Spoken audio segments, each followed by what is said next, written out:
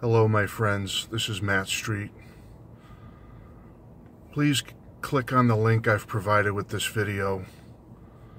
And on this day, remember love and remember our dear John. Thank you for being here. And thank you for taking the time to remember someone very special to all of us. Bless you all.